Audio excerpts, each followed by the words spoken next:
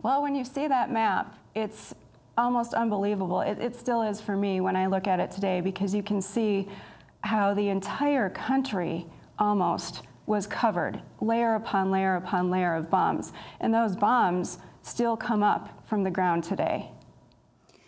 And so, Jerry, can you talk about what the effects are on uh, people today? Your story tells, uh, your book tells the story of uh, a woman named Ta. You tell a number of stories. One of them is of a woman named Ta and her dead son, Bunyan. Can you talk about that story and how representative it is of the hundreds of people you spoke to who are still suffering the effects of this bombing campaign?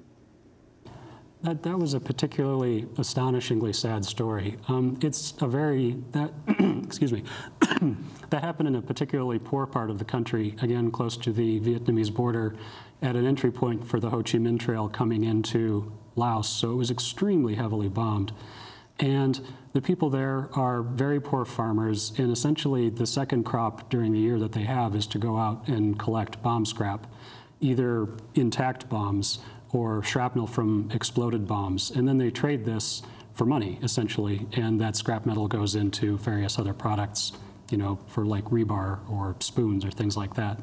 Um, but her son, as far as we could tell um, from people who survived, he and a couple other people had found some sort of bomb they didn't recognize and were digging it up when it exploded and essentially wiped him and at least two other people out completely.